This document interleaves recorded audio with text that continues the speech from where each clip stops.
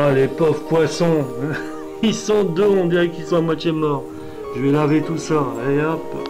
Ici, et voici les requins dans, leur, euh, dans leurs appartements temporaires. On va laver l'aquarium. Et après, hop, on remet tout. Alors, la végétation, des coquillages, des petits morceaux de pierre et des faux, des, faux, des à nettoyer. Alors, bon, il y a quoi à laver. On va remuer ça, je ne même pas sorti. Voilà, faire tout pour un 15e lavage.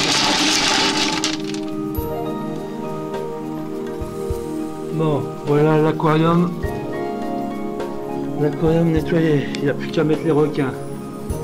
Hein?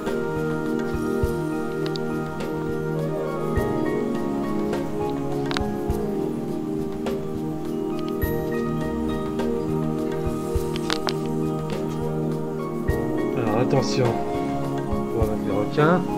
Ils sont là.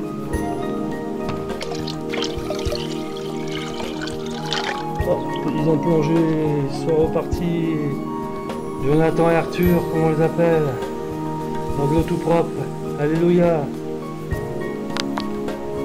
Alors, les cocos, une minute après. Bon, ils ont l'air bien se porter dans de l'eau adoucie.